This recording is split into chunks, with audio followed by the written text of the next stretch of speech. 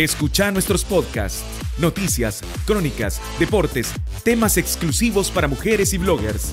Suscríbete a elnuevodiario.com.ni y descubrí nuevas formas para informarte. Selin, ¿cuál sería la diferencia entre tener una ley de rótulos y seguir trabajando con, no sé, pues con una normativa, entiendo yo que trabaja, ¿no? La alcaldía. ¿Cuál sería básicamente esa diferencia que haría ese, ese trabajo mejor teniendo una ley de rótulos?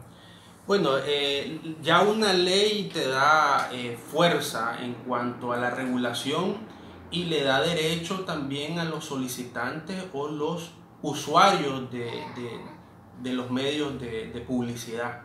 Eh, actualmente, pues bajo esa normativa queda criterio de la autoridad municipal y queda desprotegido el, usuario. Entonces esta ley de rótulo eh, da fuerza para que eh, en las medidas y los procesos se vayan cumpliendo tanto la, autoridad que va a regular como los usuarios.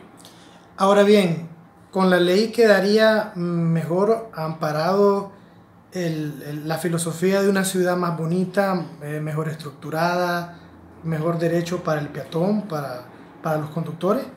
Definitivamente la ley viene a, establecer eh, los requisitos y, pone como eh, medidas pues la seguridad del peatón, bien, eh, establece la medida de seguridad de, tránsito. Pues vos ves hoy por hoy la alcaldía otorga permiso en la punta de un bulevar donde hay una intercepción pasa un vehículo y, no puede visualizar bien eh, el vehículo que venga de un lado porque está un MOPI que te eh, corta la visibilidad y eso pues va en contra de la seguridad de tránsito. Una ley vendría a regular eso, establecer eh, por ley pues que se tendría que respetar todos esos criterios. Tendría que respetarse, exactamente. La ley te, viene a respetar eso, esas medidas o, esos lugares donde no, no, no, no, se debe poner un rótulo por seguridad de tránsito o por seguridad peatonal. Esta iniciativa de la que comentábamos es del 2013. A la fecha de hoy, ¿crees que se puede mejorar? ¿Habría que hacerle algunas, algunos cambios? Ella también establece los precios ¿no? de, de los impuestos, de los cánones que se tendrían que pagar. Exactamente. Eh, nosotros estamos parcialmente eh, de acuerdo con esta ley eh, en donde disentimos, por ejemplo, son los canos de arriendo que los establece en dólares y están bien excesivamente altos. Pues entonces, aquí más bien nosotros proponemos de que se debe revisar, establecerse en Córdobas y pues que sean más accesibles a, a, a la industria que, que, que, maneja esta parte de la instalación y, y, renta de, de, de rótulos. Porque o sea, ¿crees pertinente de que tal vez en un futuro sí pueda tener cabida que todo este tema de la rotulación sea medido no por una ordenanza, sino por una ley?